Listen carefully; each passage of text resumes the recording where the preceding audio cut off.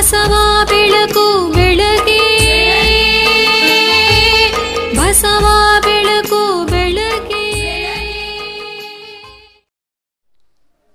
ಓಂ ಶ್ರೀ ಗುರು ಬಸವಲಿಂಗಾಯ ನಮಃ. ನಮ್ಮ ನಿರ್ಲಕ್ಷ್ಯತ ಮನೋಭಾವ ಹಲವಾರು ದುಃಖಗಳಿಗೆ ನಮ್ಮನ್ನು ಈಡು ಮಾಡ್ತದೆ ಅಂತಕ್ಕಂಥ ಒಂದು ಮಾತನ್ನು ಸ್ವಾಮಿ ವಿವೇಕಾನಂದರು ಬಹು ದಿನಗಳ ಹಿಂದೆ ಹೇಳಿದ್ದಾರೆ. ಕೊರೋನಾ ಎಂಬ ವೈರಸ್ ಇವತ್ತು ವಿಶ್ವದ ತುಂಬ ದಾಂಗುಡಿ ಇಟ್ಟು ಬೆಳೀತಾ ಇದೆ, ಹಬ್ತಾ ಇದೆ. ಅದರ ರಣಕೇಕಿಗೆ ಮನುಷ್ಯ ತತ್ತರಗೊಂಡಿದ್ದಾನೆ, ತಲ್ಲಣಗೊಂಡಿದ್ದಾನೆ. ಇಂದಿನ ದಿನಗಳವರೆಗೂ ಕರೋನಾ ಸೋಂಕಿತರನ್ನು, ಕರೋನಾ ರೋಗಕ್ಕೆ ತುತ್ತಾದಂಥ ವ್ಯಕ್ತಿಗಳನ್ನು ರಕ್ಷಿಸಲು ಸಾಧ್ಯ ಆಗದೇ ಇಲ್ಲತಕ್ಕಂಥ ಒಂದು ಪರಿಸ್ಥಿತಿ ಇಡೀ ಜಗತ್ತಿಗೆ ಬಂದೊದಗಿದೆ. ಇಂಥ ಸಂದರ್ಭದಲ್ಲಿ ಸಂಯಮವನ್ನು, ಸಂಯಮದಿಂದ ವರ್ತಿಸಬೇಕಾದ ಮನುಷ್ಯರು ವಿಚಾರದಿಂದ, ವೈಜ್ಞಾನಿಕ ಮನೋಭಾವದಿಂದ ತಿಳುವಳಿಕೆಯಿಂದ ವರ್ತಿಸಬೇಕಾದ ಮನುಷ್ಯ ಆ ಮನುಷ್ಯತ್ವವನ್ನು ಕಳ್ಕೊಂಡು ಬೇರೆ ರೀತಿಯೊಳಗೆ ವರ್ತಿಸ್ತೇ, ವರ್ತನೆ ಮಾಡ್ತಾ ಇದ್ದಾನೆ. ಹೀಗಾಗಿ ನಾವೇ ನಮ್ಮ, ನಮ್ಮನ್ನು ಸಾವಿನ ದವಡೆಗೆ ತಳ್ಳಿಕೊಳ್ತಾ ಇದ್ದೇವೆ ಏನೋ ಅಂತಕ್ಕಂಥ ಒಂದು ಭಯ ಒಂದು ಕಡೆ ಮೂಡುತ್ತದೆ. ಡಾಕ್ಟರ್ ದೇವಿ ಶೆಟ್ಟರು ಹೇಳಿದಂತೆ ಬೆಂಗಳೂರಿನಲ್ಲಿ ತೊಂಬತ್ತು ಸಾವಿರ ಜನ ಕೊರೋನಾ ಪೀಡಿತರು ಸಿಕ್ಕಲಿಕ್ಕಿಲ್ಲ ಯಾವುದೋ ಕಾರಣಕ್ಕಾಗಿ ಆ ಹೇಳಿಕೆಗಳನ್ನು ಅವರು ನೀಡಿರ್ಬೋದು. ಆದರೆ ಹೀಗೆ ನಿರ್ಲಕ್ಷ್ಯ ಮಾಡ್ತಾ ಹೋದರೆ ತೊಂಬತ್ತು ಸಾವಿರ ಅಲ್ಲ, ತೊಂಬತ್ತು ಲಕ್ಷ ಕೂಡ ಈ ರಾಷ್ಟ್ರದಲ್ಲಿ ಕರೋನಾ ಪೀಡಿತರು ಸಿಗಲಿಕ್ಕೆ ಸಾಧ್ಯ ಅಂತಕ್ಕಂಥ ಒಂದು ಮಾತನ್ನು ಕೂಡ ನಾವು ಬಹು ಎಚ್ಚರಿಕೆಯಿಂದ ಗಮನಿಸಬೇಕಾಗ್ತದೆ. ಯುಗಾದಿ ಮಾಡದೆ ಹೋದರೂ ಏನು ತೊಂದರೆ ಆಗೋದಿಲ್ಲ. ಈ ವರ್ಷ ಮಾಡಿದ್ರೆ ಏನಂತೆ? ಬದುಕುಳಿದ್ರೆ ಮತ್ತೊಂದು ಮಗದೊಂದು ದಿನ ನಾವು ಮಾಡಬಹುದಲ್ಲ ಅಂತಕ್ಕಂಥ ಸಣ್ಣ ತಿಳುವಳಿಕೆ ಕೂಡ ಮನುಷ್ಯನಲ್ಲಿ ಇಲ್ಲದೆ ಹೋಗಿದೆ.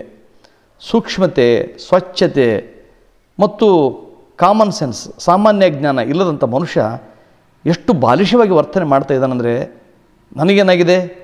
ನಮ್ಮೂರಲ್ಲಿ ಆ ಸೋಂಕಿತರಿಲ್ಲ ಮೊದಲು ರಾಜ್ಯದಲ್ಲಿಲ್ಲ, ಆಮೇಲೆ ಜಿಲ್ಲೆಯಲ್ಲಿಲ್ಲ, ತಾಲೂಕಿನಲ್ಲಿಲ್ಲ, ತಾಲೂಕು ಇಲ್ಲ ಅಂದಮೇಲೆ ನನ್ನ ಊರಲ್ಲಿಲ್ಲ ನನ್ನ ಊರಲ್ಲಿಲ್ಲ, ನನ್ನ ಪಕ್ಕ ಅಕ್ಕಪಕ್ಕದಲ್ಲಿಲ್ಲ ಅಂತಕ್ಕಂಥ ಹುಂಬುತನದಿಂದ ತಿರುಗಾಡ್ತಾ ಇದ್ದರೆ ಪೊಲೀಸರು ಲಾಠಿ ರುಚಿ ತೋರಿಸಿದ್ರೆ ಇನ್ನೇನು ತೋರಿಸ್ಬೇಕಾಗ್ತದೆ? ಆಂಧ್ರದ ಮುಖ್ಯಮಂತ್ರಿ ಅಂತೂ ಯಾರು ಜನಗಳು ಕಾಣ್ತಾರೋ ಕಂಡಲ್ಲಿ ಗುಂಡಿಡ್ರಿ ಅಂತಕ್ಕಂಥ ಒಂದು ಆದೇಶವನ್ನು ಕೂಡ ಮಾಡಿದ್ದಾರೆ. ಇದು ಅನಿವಾರ್ಯ ಅಂತ ಅನಿಸ್ತದೆ ಒಂದೊಂದು ಸಲ ಇದು ಅತಿರೇಕ ಕೂಡ ಹೋಗಬಾರ್ದು. ಹೋಗೋದ ರೀತಿ ಒಳಗಡೆ ನಾವು ಕೂಡ ವರ್ತಿಸಿದರೆ, ನಾವು ಕೂಡ ಸರ್ಕಾರಕ್ಕೆ ಸಹಕಾರ ನೀಡಿದರೆ ಸರ್ಕಾರ ವಿವೇಚನೆಯಿಂದ ವರ್ತಿಸಲಿಕ್ಕೆ ಸಾಧ್ಯ ಆಗ್ತದೆ. ಇಂಥ ಸಂದರ್ಭದಲ್ಲಿ ಗುಡಿಗಳು, ಜಾತ್ರೆಗಳು, ತೇರುಗಳನ್ನು ಮಾಡಲೇಬೇಕು, ಉತ್ಸವ ನಡೆಸಲೇಬೇಕಂತಕ್ಕಂಥ ಉಮೇದು ನಮ್ಮೊಳಗಡೆ ಇದೆಯಲ್ಲ ಇದು ದುಷ್ಟತನದಲ್ಲದೆ ಇನ್ನೇನು ಹೇಳಿ? ನಮಗೆ ಗೊತ್ತಾಯಿತು, ಖಚಿತವಾಯಿತು, ಈಗಲಾದರೂ ನಾವು ಅರ್ಥ ಮಾಡಿಕೊಳ್ಳಬೇಕು. ಸ್ವಾಮಿ ವಿವೇಕಾನಂದರು ಹೇಳಿದಂತೆ, ಗುಡಿ, ಚರ್ಚು, ಮಸೀದಿ, ಮಂದಿರಗಳಲ್ಲಿ ದೇವರು ಇಲ್ಲವೇ ಇಲ್ಲ. ಯಾರು ನಿರಾಶ್ರಿತ, ನಿರಾಶ್ರಿತನಿದ್ದಾನೋ, ಯಾರು ದುಃಖಿತನಿದ್ದಾನೋ, ಯಾರು ಬಡವನಿದ್ದಾನೋ, ಯಾರು ಹಸಿವಿಂದ ತತ್ತರಿಸಿದ್ದಾನೋ, ಆತನಿಗೆ ಸಹಾಯ ಮಾಡಬೇಕು. ಆತನಿಗೆ ಸಹಾಯ ಮಾಡುವುದೇ ನಿಜಕ್ಕೂ ದೇವರಿಗೆ ಸಲ್ಲಿಸುವ ಕಾಣಿಕೆ ಅಂತ. ಆದರೆ ಏನಾಗ್ತಾ ಇದೆ? ನಮಗೆ ಗೊತ್ತಿದ್ದಂಗೆ ಈ ಕರೋನಾ ವೈರಸ್ ಬಂದ ಮೇಲೆ ಎಲ್ಲ ನಮ್ಮ ದೇಶದ ಬಹುತೇಕ ದೊಡ್ಡ ದೊಡ್ಡ ಮಹತ್ವದ ಗುಡಿಗಳಿಗೆ ಬೀಗ ಹಾಕಲಾಗಿದೆ. ಮಸೀದಿಗಳು ಬಂದಾಗಿವೆ, ಚರ್ಚ್ಗಳ ಬಾಗಿಲು ಮುಚ್ಚಲಾಗಿದೆ. ಈಗ ತೆರೆದಿರುವ ಬಾಗಿಲು ಅಂತಂದರೆ ವೈದ್ಯಾಲಯ ಮಾತ್ರ. ಈ ವೈದ್ಯರೇ ನಿಜವಾದ ದೇವರು. ದೇವರು ನೋಡಿ, ನಾವು ಸುಮ್ಮ ಸುಮ್ಮನೆ ಎಲ್ಲೆಲ್ಲೋ ಹುಡುಕಾಡ್ತಾ ಹೋಗ್ತೀವಿ ದೇವರನ್ನ. ಇದಕ್ಕೆ ಕಾರಣ ಅಂದರೆ ವೇದಗಳು, ಶಾಸ್ತ್ರಗಳು, ಉಪನಿಷತ್ತುಗಳು ಇತ್ಯಾದಿ ಇತ್ಯಾದಿ ಅಂತ ಹೇಳ್ತಾರೆ ಬಸವಾದ ಶರಣರು ಅದಕ್ಕೆ ಹೇಳ್ತಾರೆ, ಈ ಅಜ್ಞಾನದ ತೊಟ್ಲನ್ನು ಮುರಿಬೇಕು. ಇದರಲ್ಲಿರ್ತಕ್ಕಂಥ ಜ್ಞಾನದ ಶಿಶುವಿಗೆ ಯಾವತ್ತೂ ಎಚ್ಚರ ಆಗ್ತದೆ. ಈ ತೊಟ್ಲ ಮುರಿಬೇಕು, ಈ ಭ್ರಮೆಯಿಂದ ಬಿಡುಗಡೆಗೊಳ್ಳಬೇಕು ಈ ಭ್ರಮೆಯಿಂದ ಬಿಡುಗಡೆ ಒಳ್ಳದೆ ಹೋದರೆ ಸತ್ಯ ನಮಗೆ ಅರ್ಥ ಆಗಲಿಕ್ಕೆ ಸಾಧ್ಯವೇ ಇಲ್ಲ ಅಂತಕ್ಕಂಥ ಮಾತನ್ನು ಹನ್ನೆರಡನೇ ಶತಮಾನದಲ್ಲಿ ಶರಣರು ಹೇಳ್ತಾರೆ. ಹಾಗಾಗಿ ನಾವು ಪ್ರಜ್ಞಾವಂತಿಕೆಯಿಂದ ವರ್ತಿಸಬೇಕಾಗಿದೆ. ಡಾಕ್ಟರ್ ಬಿ ಆರ್ ಅಂಬೇಡ್ಕರ್ ಅವರು ಕೂಡ ನಮ್ಮ ರಾಷ್ಟ್ರಕ್ಕೆ ಅವಶ್ಯ ಇರತಕ್ಕಂಥದ್ದು ಶಾಲಾ ಕಾಲೇಜುಗಳು ಹೊರತು ದೇವಾಲಯಗಳಲ್ಲ, ಮಸೀದಿ ಮಂದಿರ ಚರ್ಚುಗಳಲ್ಲ. ಮಸೀದಿ ಮಂದಿರ ಚರ್ಚುಗಳಿಂದ ಈ ದೇಶದಲ್ಲಿ ಅನಾರ್ಕಿ ಉಂಟಾಗ್ತದೆ, ಮೌಢ್ಯಗಳು ಉಂಟಾಗ್ತವೆ, ಶೋಷಣೆ ಉಂಟಾಗ್ತದೆ.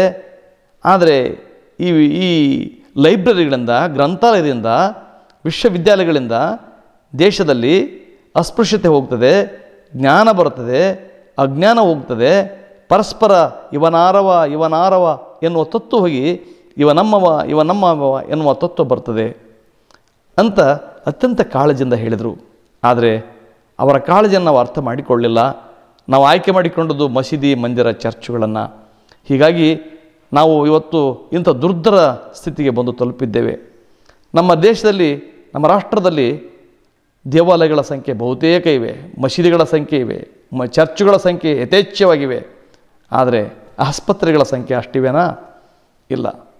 ಓದಿಗಾಗಿ ಇರ್ತಕ್ಕಂಥ ವಿಶ್ವವಿದ್ಯಾಲಯಗಳು ಅಷ್ಟಿವೆಯಾ? ನಮ್ಮೂರಲ್ಲಿ ಹೇಳ್ಬೋದು ಹೇಳಿಕೊಳ್ಳಬಹುದಂಥ ಬೃಹತ್ ಗ್ರಂಥಾಲಯಗಳಿವೆಯಾ?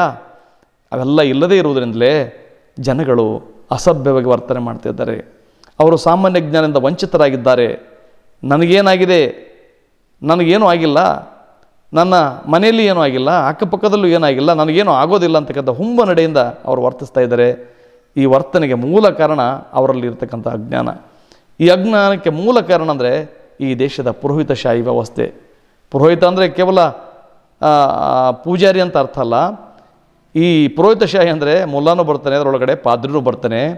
ಇವರೆಲ್ಲರ ಕೊಡುಗೆ ನಿಜಕ್ಕೂ ಅಪಾಯ, ದೇಶಕ್ಕೆ ಅಪಾಯವನ್ನು ತಂದು ಒಡ್ದ, ಒಡ್ತಕ್ಕಂಥದ್ದು. ಈ ಬಗ್ಗೆ ನಾವು ಇವತ್ತು, ಇವತ್ತಾದರೂ ಜಾಗ್ಯರಾಗಬೇಕಾಗಿದೆ ಇವುಗಳಿಂದ ಬಿಡುಗಡೆ ಹೊಂದಬೇಕಾಗಿದೆ. ತನ್ನರಿವೇ ತನಗೆ ಗುರು ಅಂತಕ್ಕಂಥ ಮಾತನ್ನು ಹೇಳಿ, ಕೇಳಿಕೊಂಡು ನಾವು ಬೇಕು, ಬದುಕಬೇಕಾಗಿದೆ. ತನ್ನರಿವೇ ತನಗೆ ಗುರು ಆದರೆ ಖಂಡಿತವಾಗಿಯೂ ನಮಗೆ ಮೋಸ ಮಾಡಲಿಕ್ಕೆ ಮೋಸ ಮಾಡಲಿಕ್ಕೆ ಯಾರೂ ಹಂಚಾಕಲಿಕ್ಕೆ ಸಾಧ್ಯ ಇಲ್ಲ. ನಮ್ಮ ಸ್ವ, ನಾವು, ನಮಗೆ ನಾವೇ ಸ್ವಚ್ಛತೆಯನ್ನು ಕಲ್ತ್ಕೊಳ್ತೇವೆ. ಅಂತರಂಗ ಶುದ್ಧಿ ಆಗ್ತದೆ, ಬಹಿರಂಗ ಶುದ್ಧಿ ಆಗ್ತದೆ. ಅಂತರಂಗ ಮತ್ತು ಬಹಿರಂಗ ಶುದ್ಧಿ, ಶುದ್ಧಿಯಿಂದ ಸಮಾಜವೂ ಕೂಡ ಎಲ್ಲ ಪರಿ ಪರಿಶುದ್ಧತೆಯಡೆಗೆ ಸಾಗಲಿಕ್ಕೆ ಸಾಧ್ಯ ಆಗ್ತದೆ. ವೈಜ್ಞಾನಿಕ ಮನೋಭಾವ ಬರ್ತದೆ. ವೈಚಾರಿಕ ಚಿಂತನೆ ಎಲ್ಲರಲ್ಲಿ ಮೂಡ್ತದೆ ಇವುಗಳ ಮೂಲಕ ರೋಗ ರುಜಿನಗಳಿಂದ ನಾವು ಮುಕ್ತರಾಗ್ತೇವೆ. ಬಡತನದಿಂದ ಮುಕ್ತರಾಗ್ತೇವೆ. ಮತ್ತು ನಾವು ಶೋಷಣೆಯಿಂದ ಕೂಡ ಮುಕ್ತರಾಗ್ತೇವೆ. ಹಾಗಾಗಿ ಕೊರೋನಾ ಬಂದಿರುವ ಈ ಸಂದರ್ಭದಲ್ಲಿ ನಾವು ಸತ್ಯವನ್ನು ಅರ್ಥ ಮಾಡಿಕೊಳ್ಳಬೇಕು. ಜ್ಞಾನದ ಬಲದಿಂದ ಅಜ್ಞಾನದ ಕೇಡ ಅಂತ ಶರಣರು ಹೇಳಿದ್ದಾರೆ. ನಮ್ಮ ಅಜ್ಞಾನವನ್ನು ದೂರ ತಳ್ಳಬೇಕಾದ್ರೆ ನಾವು ಜ್ಞಾನವಂತರಾಗಬೇಕು. ಕನಿಷ್ಠ ಪಕ್ಷ ಈ ಇಪ್ಪತ್ತೊಂದು ದಿನದಲ್ಲಾದರೂ ಕೂಡ ವಚನ ಸಾಹಿತ್ಯವನ್ನು ಓದ್ತಾ, ಅಂಬೇಡ್ಕರರ ಕೃತಿಗಳನ್ನು ಓದ್ತಾ, ಪೇರಿಯಾರ ವಿಚಾರಗಳನ್ನು ತಿಳಿದುಕೊಳ್ಳುತ್ತಾ, ಪುಲೆ ದಂಪತಿಗಳ ಕೊಡುಗೆಯನ್ನು ಗಮನಿಸ್ತಾ, ಭಗತ್ ಸಿಂಗರ ವಿಚಾರವನ್ನು, ಧೀರತೆಯನ್ನು, ಗಟ್ಟಿತನವನ್ನು ನೋಡ್ತಾ ಸ್ವಾಮಿ ವಿವೇಕಾನಂದರ ಆಧ್ಯಾತ್ಮವನ್ನು ಗ್ರಹಿಸ್ತಾ ಅವರ ವಿಚಾರ ಚಿಂತನೆಗಳನ್ನು ನಾವೆಲ್ಲ ಓದ್ತಾ ಕಳೆಯೋಣ ಅಂತ ಹೇಳ್ತಾ ನಿಮಗೆಲ್ಲರಿಗೂ ನನ್ನ ಗೌರವದ ಪ್ರೀತಿಯ ಶರಣು ಶರಣಾರ್ಥಿಗಳು. ನಿಮ್ಮ ವಿಶ್ವಾರಾಧ್ಯ சத்தன்பேட்டை